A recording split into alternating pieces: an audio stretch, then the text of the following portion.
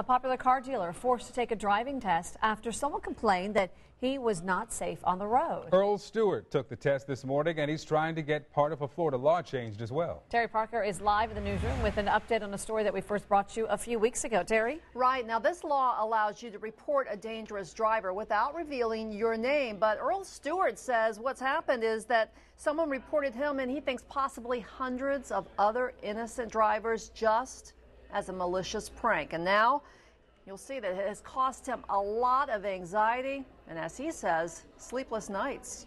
Okay, blow your horn. Car dealer Earl Stewart has been dreading this moment for a month. I was nervous, and I got even more nervous. The celebrity car dealer, whose face adorns billboards and whose commercials say, Call Earl.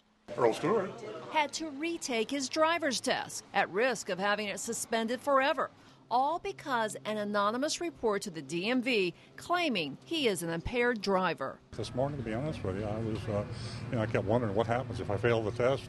You know, then I, I make a fool out of myself. I don't have a driver's license. Ever since Stewart got this letter from the DMV last month saying someone reported him, he's been fighting to get the law changed. It allows someone to report a dangerous driver with no fear their name will ever be revealed.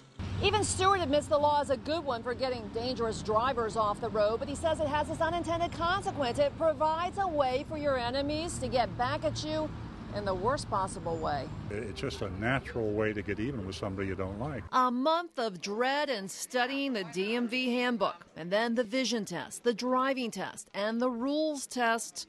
I miss the one that says, What is the uh, maximum speed on a rural interstate highway if it's not otherwise posted?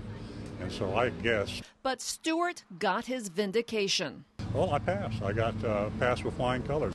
Now that this 70 year old car dealer with his reputation on the line has proven that he can, in fact, drive, he's moving on to getting the law changed. You or I should be able to uh, report somebody. I don't have a problem with that, but you should have accountability when you report somebody. And if you do it maliciously, you should be held accountable. And Stewart's meeting with lawmakers, he says, and he's come up with another way to try to get the law changed. And you can actually weigh in on this one, and we're going to have details on that coming up at 6. Tiffany and Victor? Well, Terri, what does Stewart want to do with the information if he could find out who reported him? Sue. He says that the problem with the law is that it allows someone to maliciously report you and then they can hide behind this cloak of anonymity. So he wants the law to be changed where if you prove by passing your test and all the other evidence that it was a malicious uh, situation, then you can sue or possibly uh, get them cited criminally. Right now, the law protects the person who makes a report from any type of prosecution at all. Live in the newsroom, Terri Parker, WPBF 25 News.